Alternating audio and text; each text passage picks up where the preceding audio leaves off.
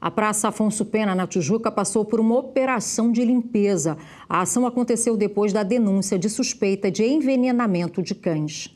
O trabalho mobilizou 15 garis com uma operação de limpeza hidráulica com água de reuso, sabão líquido e aplicação de aroma de lavanda para eliminar possíveis produtos químicos. Além da lavagem de calçadas e canteiros, eles limparam as ruas e ralos do entorno. Moradores do bairro suspeitam de envenenamento de cães na Praça Afonso Pena. A denúncia surgiu após os tutores saírem para passear com os animais e eles retornarem passando mal. Foram pelo menos 20 casos registrados. Um dos animais morreu. No mês passado, a Conlurb fez o mesmo trabalho no Jardim Oceânico, onde pelo menos 40 cães tiveram sintomas de envenenamento. Seis não resistiram.